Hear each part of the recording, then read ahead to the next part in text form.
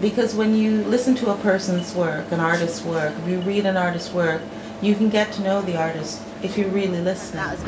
The garden to which I dream, I see an angel made of stone. Her veins are made from sundials, and we all call her Sylvie. She is sleeping, and her dream is of me. We are both in love. Old fate has made us gentle. Our legs claim to know a better place to be blown. We walk and play arrows with acorns in the down rain of October. The trees hold out their hands above us as to make the sky a crown and us their reigning destiny.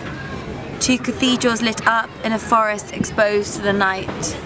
Time to time we are as clear as water.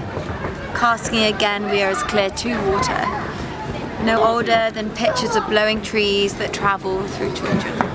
If you read the poet's work, then you get a, an understanding of